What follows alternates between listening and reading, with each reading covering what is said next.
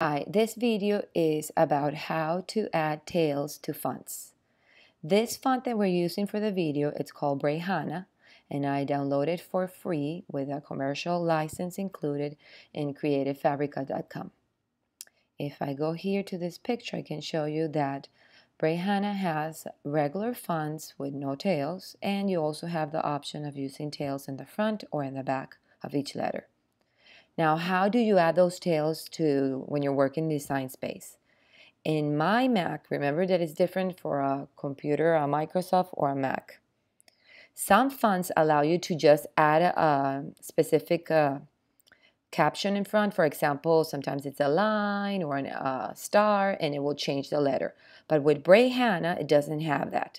So what I do is I open a Font Book and I go to Breyhana and I have all the the characters of the all the le the letters here. You see, this one has the tail in the front, and then up here it has no tails.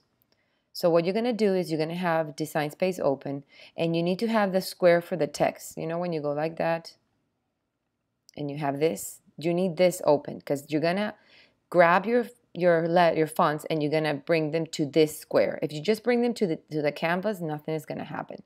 So I'll show you an example. Let's start with a lowercase h with a tail. Here's one. So I'm going to bring it all the way here. And then I'm going to get, let's just use the regular E, which I could go ahead and, now that I think about it, just write it. I don't have to do it this hard way. And then let's find the L with the tail. The L has two tails. It has this one or it has this one. I'm going to go with one of this ones. And then I'm going to use a regular L. And now I'm going to use a tail, an O with the tail. Here it is. So I'm going to go ahead and bring it here. So as you can see, we have these fancy letters. Because if I go ahead and write hello like that, it's not going to give me the tails that I want.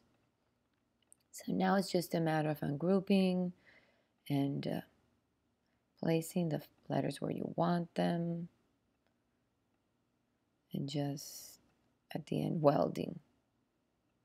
Okay, so for example, you have this and now we're going to weld as you can see, here are several examples of how you can use the tails in different ways to write the same word.